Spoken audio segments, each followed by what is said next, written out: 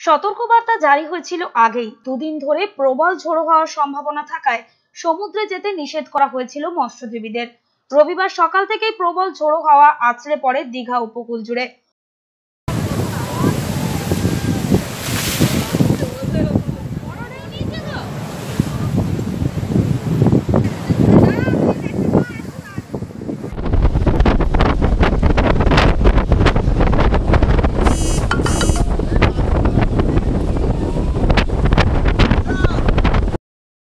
যার জেরে ওল্ড দীঘায় বিশ্ব বাংলা পার্কের মধ্যে থাকা বিশ্ব বাংলা লোগোটি ভেঙে পড়ে।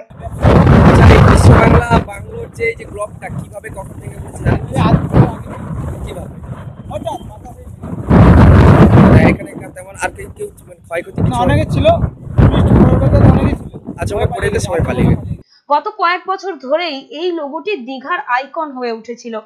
লোগোকে পেছনে রেখে সেলফি তুলতে ব্যস্ত থাকতেন পর্যটকেরা। প্রবল ঝোড়ো হাওয়ার তোড়ে সেই লোগোটি ভেঙে পড়ে।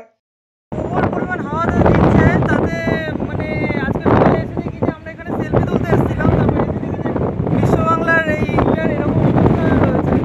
এবার এখানে এসে আর কি সেলফি তুলবো আমরা? এবার বাধ্য হয়ে আমাদের সমুদ্রের ধারে কাটাতে হচ্ছে এখানে সেলফি আপনারা এমনিতে ফিরে হ্যাঁ। দীঘার কেমন দীঘার সমুদ্রে তো আজকে মানে কালকে থেকে শুনছিলাম প্রবল স্রোত আজকে এসে দেখি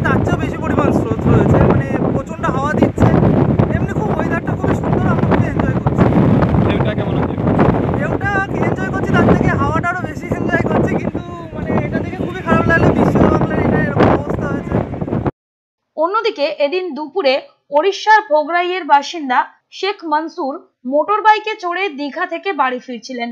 দীঘার সায়েন্স সিটির কাছে একটি গাছ ওই যুবকের মাথার ওপর ভেঙে পড়ে। এর জেরে ওই যুবক আহত হন। ব্যাপক ক্ষতিগ্রস্ত হয় তার বাইকও। দীঘা হাসপাতালে তাকে ভর্তি করা হয়।